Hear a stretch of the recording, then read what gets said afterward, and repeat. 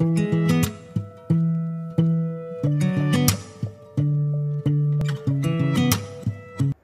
Ten ബ്ലോഗിന്റെ അടുത്തൊരു എപ്പിസോഡിലേക്ക് എല്ലാവർക്കും സ്വാഗതം. ആദ്യം തന്നെ പറയാനുള്ളത് താഴെ കൊടുത്തിരിക്കുന്ന ലിങ്കിൽ കൊടുത്തിരിക്കുന്ന നമ്മുടെ പുതിയ ചാനൽ കൂടി സബ്സ്ക്രൈബ് ചെയ്യുക. എസ് എൽ സിയുമായി ബന്ധപ്പെട്ടിട്ടുള്ള പ്രധാനപ്പെട്ട ക്വസ്റ്റ്യൻസൊക്കെ ആൻസർ ചെയ്യുന്നൊരു സെക്ഷനാണ് അതിലുള്ളത്. ആ ഒരു ചാനൽ കൂടി സബ്സ്ക്രൈബ് ചെയ്യാൻ മറക്കരുത്. നമ്മൾ നോക്കാൻ പോകുന്നത് ഇംഗ്ലീഷ് മീഡിയം വിദ്യാർത്ഥികൾക്ക് വേണ്ടിയിട്ടാണ് സോഷ്യൽ സയൻസിലെ ഒമ്പതാമത്തെ ചാപ്റ്ററായ ഫിനാൻഷ്യൽ ഇൻസ്റ്റിറ്റ്യൂഷൻസ് ആൻഡ് സർവീസസ് എന്നുള്ള ചാപ്റ്ററാണ്. ആദ്യമായിട്ട് അതിൽ പറയേണ്ടത് റിസർവ് ബാങ്കിനെ കുറിച്ചാണ്. റിസർവ് ബാങ്ക് എന്നാണ് എസ്റ്റാബ്ലിഷ് ആയത് അഥവാ സ്ഥാപിതമായത് ആയിരത്തി തൊള്ളായിരത്തി മുപ്പത്തി അഞ്ചിലാണ് എപ്പെക്സ് ബാങ്ക് ഓഫ് ഇന്ത്യ എന്ന് പറയുന്നത് റിസർവ് ബാങ്കാണ്. മുംബൈയാണ് ഹെഡ് ക്വാർട്ടേഴ്സ് സ്ഥിതി ചെയ്യുന്നത്. ഇനി functions of reserve bank reserve ബാങ്കിന്റെ പ്രധാന ധർമ്മങ്ങൾ എന്തെല്ലാം? ഒന്നാമത് പ്രിന്റിങ് ഓഫ് കറൻസി നോട്ട് അച്ചടിക്കൽ രണ്ടാമതായിട്ട് കൺട്രോളിങ് ക്രെഡിറ്റ് വായ്പ നിയന്ത്രിക്കൽ മൂന്നാമത് ബാങ്കർ ടു ഗവൺമെന്റ് ഗവൺമെന്റുകളുടെ ബാങ്കായിട്ട്. നാലാമതായിട്ട് ബാങ്കേഴ്സ് ബാങ്ക് ബാങ്കുകളുടെ ബാങ്കായിട്ടും വർക്ക് ചെയ്യുന്നത്. ഇത്രയും നാല് ഫങ്ഷൻസാണ് അതിൽ പറയേണ്ടത്. അതിലൊന്നാമതായിട്ട് പ്രിന്റിങ് ഓഫ് കറൻസി ഒരു രൂപ നോട്ട് വെച്ച് ബാക്കിയെല്ലാം അച്ചടിക്കുന്നത് ഈ റിസർവ് ബാങ്കിലാണ്. ഒരു രൂപ നോട്ട് അച്ചടിക്കുന്നത് സെൻട്രൽ ഫിനാൻസ് ഡിപ്പാർട്ട്മെന്റാണ്. അതാണ് ആദ്യം അതിൽ ആ ഒരു സെക്ഷനിൽ ഓർത്തിരിക്കുന്നത്. അടുത്തായി കൺട്രോളിംഗ് ക്രെഡിറ്റ്. വായ്പകൾ നിയന്ത്രിക്കുന്നത് റിസർവ് ബാങ്കാണ്. എങ്ങനെയാണ് വായ്പകൾ നിയന്ത്രിക്കുന്നത്? This made possible by bringing about changes in the rate of interest പലിശ നിരക്കിൽ മാറ്റം വരുത്തിയിട്ടാണ് ഇത് കൊണ്ടുവരുന്നത്. ബാങ്കർ ടു ഗവൺമെന്റ് ഗവൺമെന്റിന്റെ ബാങ്കായിട്ട് വർക്ക് ചെയ്യുന്നതും ഈ റിസർവ് ബാങ്കാണ്. As a banker to government reserve bank India accepts deposits from government sanctions loans renders other bank service to them ഈ ഗവൺമെന്റിന്റെ ബാങ്ക് എന്നുള്ളത് കൊണ്ട് അക്സെപ്റ്റ്സ് ഡെപ്പോസിറ്റ് ഫ്രം ഗവൺമെന്റ് ഗവൺമെന്റിൽ നിന്ന് ഡെപ്പോസിറ്റുകൾ സ്വീകരിക്കുന്നു. അതേപോലെ ലോൺ സാങ്ഷൻ ചെയ്യുന്നു. അതർ ബാങ്ക് സർവീസ് ബാങ്കുകളുടെ സർവീസുകളൊക്കെ ഈ ഒരു ബാങ്ക് കൂടി ചെയ്യുന്നുണ്ട്. അത് ഓർത്തിരിക്കണം. ബാങ്കേഴ്സ് ബാങ്കായിട്ട് വർക്ക് ചെയ്യുന്നതും റിസർവ് ബാങ്കാണ്. Advise assist all banks and their operations is a function of reserve bank. Reserve ബാങ്കിന്റെ ഫങ്ഷനാണ് മറ്റു ബാങ്കുകളെ നിയന്ത്രിക്കുക എന്നുള്ളതും അതിനുവേണ്ട ഉപദേശങ്ങൾ സ്വീകരിക്കുക എന്നുള്ളതും അതേപോലെ അതിനെ സഹായിക്കുക എന്നുള്ളതും ഈ റിസർവ് ബാങ്കിന്റെ ഫങ്ഷനാണ് അടുത്തത് ഫിനാൻഷ്യൽ ഇൻസ്റ്റിറ്റ്യൂഷനെ കുറിച്ചാണ്. രണ്ട് തരം ഫിനാൻഷ്യൽ ഇൻസ്റ്റിറ്റ്യൂഷനാണ് ഇന്ത്യയിൽ നിലവിലുള്ളത്. ഒന്നാമതായിട്ട് ബാങ്ക്സ് മറ്റേത് നോൺ ബാങ്കിങ് ഫിനാൻഷ്യൽ ഇൻസ്റ്റിറ്റ്യൂഷൻസ്. അതിൽ ബാങ്ക്സ് ഏതൊക്കെയാണെന്ന് നോക്കാം. ബാങ്ക്സിനെ നാലായിട്ട് തിരിച്ചിട്ടുണ്ട്. Commercial banks cooperative banks development banks specialised banks. അതുപോലെ തന്നെ നോൺ ബാങ്കിങ് ഫിനാൻഷ്യൽ ഇൻസ്റ്റിറ്റ്യൂഷനെ മൂന്നായിട്ട് തിരിച്ചിട്ടുണ്ട്. Mutual fund institutions insurance companies and non banking finance companies. ഇനി ബാങ്ക് എന്താണെന്ന് നോക്കാം. അതാണ് ഏറ്റവും important. Banks are institution that accepts deposits from the public and grant loans to needy subject to condition. ബാങ്കുകൾ എന്ന് പറഞ്ഞാൽ പബ്ലിക്കിൽ നിന്ന് പണം സ്വീകരിച്ച് പബ്ലിക്കിന് വേണ്ടി ലോൺ കൊടുക്കുന്ന അഥവാ ഒരു കണ്ടീഷന്മേൽ ലോൺ കൊടുക്കുന്ന സ്ഥാപനങ്ങളെയാണ് ബാങ്കുകൾ എന്ന് പറയുന്നത്. ബാങ്കുകളുടെ പ്രധാന ഫങ്ഷൻസ് ഇതിൽ കൊടുത്തിട്ടുണ്ട്. Accept deposits from the individual institution and government ഗവൺമെന്റിൽ നിന്നും സ്ഥാപനങ്ങളിൽ നിന്നും ആളുകളിൽ നിന്നൊക്കെ പണം സ്വീകരിക്കുക. Give back deposit amount with interest അതേപോലെ തന്നെ അവരുടെ ഡെപ്പോസിറ്റ് ഇൻട്രസ്റ്റോട് കൂടി അഥവാ പലിശയോട് കൂടി അവർക്ക് തിരിച്ചു നൽകുക.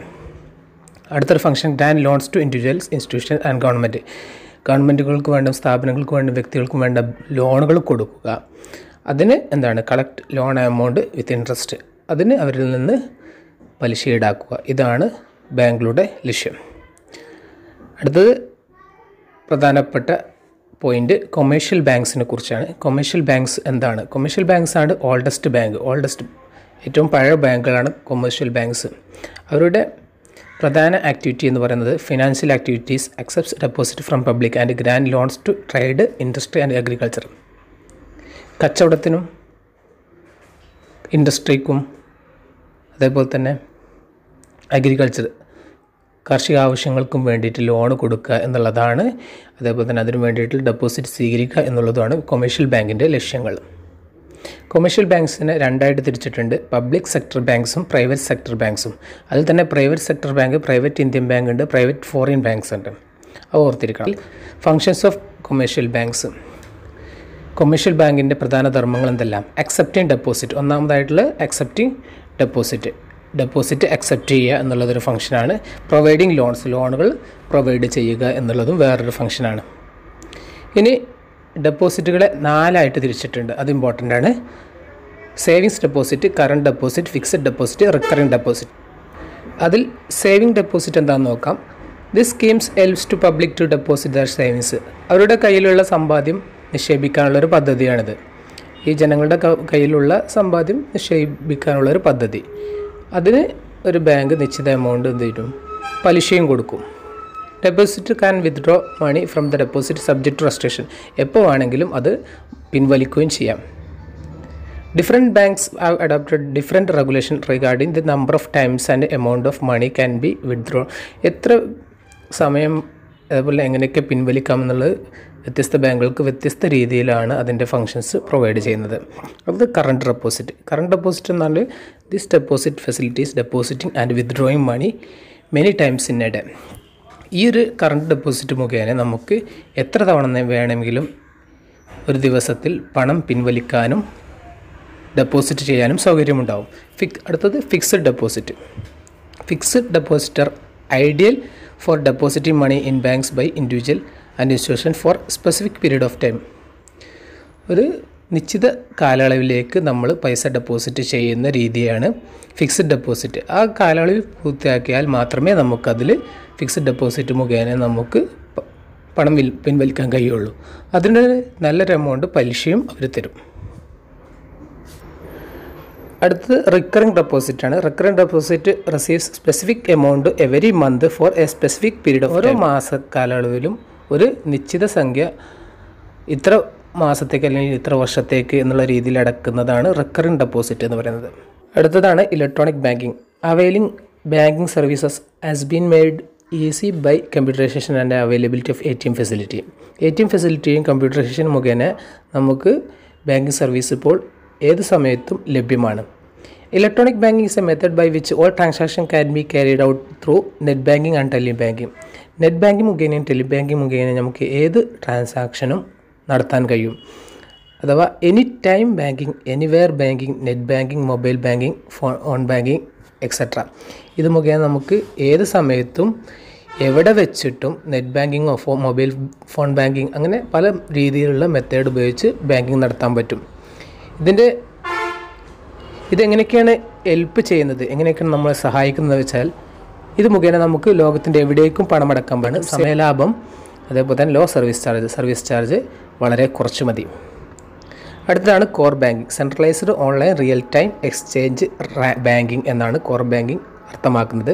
Core banking is a facility which is arranged such a way that all branches are brought under central service so that banking service from one bank to another made possible ഈ ഒരു core banking മുഖേന എല്ലാ ബാങ്കുകളുടെയും server ഒറ്റ സെർവറിൽ ഘടിപ്പിച്ചിട്ട് എല്ലാ banking മെത്തേഡും easy ആക്കുക എന്നുള്ളതാണ് core banking കൊണ്ട് ഉദ്ദേശിക്കുന്നത്. അഥവാ A T M debit card credit card net banking എല്ലാം ഒരു സെർവറിന് കീഴിൽ വന്നിട്ട് ആ ഒരു സെർവർ മുഖേന മറ്റ് എല്ലായിടത്തും നിർദ്ദേശങ്ങളും എല്ലാ ബാങ്കിങ് ഫെസിലിറ്റിയും കൊടുക്കുക എന്നുള്ളതാണ് കോർ ബാങ്കിങ് കൊണ്ട് ഉദ്ദേശിക്കുന്നത്. അടുത്തത് കോപ്പറേറ്റീവ് ബാങ്ക്സ് ആണ്. കോപ്പറേറ്റീവ് ബാങ്ക്സിനെ മൂന്നായിട്ട് തിരിച്ചിട്ടുണ്ട്. State cooperative banks district cooperative bank primary cooperative bank അതിൽ സ്റ്റേറ്റ് കോപ്പറേറ്റീവ് ബാങ്കാണ് ഏറ്റവും വലിയ സ്റ്റേറ്റിലെ ഏറ്റവും വലിയ കോപ്പറേറ്റീവ് സെക്ടർ എന്ന് പറയുന്നത്. അത് ഡിസ്ട്രിക്ട് കോപ്പറേറ്റീവ് ബാങ്കിനാണ് സഹായിക്കുന്നത്. അടുത്തതാണ് district cooperative banks operate at district centres district സെന്ററുകളിൽ work ചെയ്യുന്ന ബാങ്കുകളാണ് ഡിസ്ട്രിക്ട് കോപ്പറേറ്റീവ് ബാങ്ക് ഇത് കോ പ്രൈമറി കോപ്പറേറ്റീവിന് വേണ്ട അസിസ്റ്റൻസും ഗൈഡൻസും നൽകുക എന്നുള്ളതാണ് ഇതിന്റെ ഫംഗ്ഷൻ അടുത്തത് primary cooperative banks functions in will villages വില്ലേജുകൾ work ചെയ്യുന്നു. Area of function is limited കുറഞ്ഞ ഏരിയയിൽ മാത്രമായിരിക്കും അവർ പ്രവർത്തിക്കുന്നത്.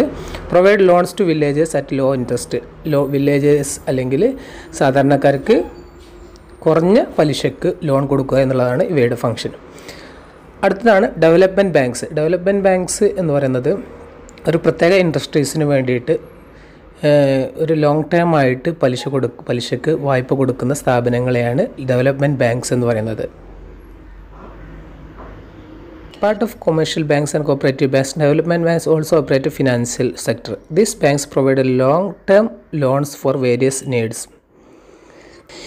ഇത്തരം ഒരു ബാങ്കിന് എക്സാമ്പിളാണ് I F C I industrial finance corporation of India അടുത്തത് സ്പെഷ്യലൈസ്ഡ് ബാങ്ക്സ് ആണ്. സ്പെഷ്യലൈസ്ഡ് ബാങ്ക്സ് പറഞ്ഞാൽ ഒരു സ്പെഷ്യൽ സ്പെസിഫിക് സെക്ടറിന് വേണ്ടിയിട്ട് അവർ അവരുടെ വളർച്ചയ്ക്ക് വേണ്ടിയിട്ട് പ്രവർത്തിക്കുന്ന ബാങ്കുകളാണ് സ്പെഷ്യലൈസ്ഡ് ബാങ്ക്സ് എന്ന് പറഞ്ഞാൽ അതിന് എക്സാമ്പിളാണ് EXIM bank of India small industry development bank NABARD അഥവാ national bank of agriculture and rural development ഇത്രയൊക്കെയാണ് ഈ ചാപ്റ്ററിൽ കൂടുതലായിട്ട് പഠിക്കാനുള്ളത്. മ്യൂച്വൽ ഫണ്ട് ഇൻസ്റ്റിറ്റ്യൂഷനും അതേപോലെ non banking financial companies insurance companies തുടങ്ങി മറ്റ് സംഭവങ്ങളൊക്കെ ഉണ്ട്. അതൊക്കെ ഒന്ന് ജസ്റ്റ് വായിച്ചിരിക്കുക.